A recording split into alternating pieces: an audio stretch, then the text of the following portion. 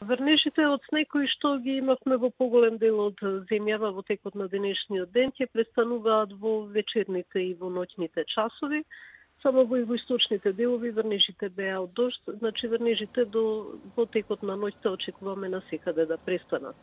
Меѓутоа во следните два дена ќе се задржи променливо облачно време со кратки сончеви периоди и со повремени слаби врнежи од снег, претежно во планинските подрачја, ќе дува и умерен до засилен ветер од северен правец, кој што ќе биде поизразен до четврток.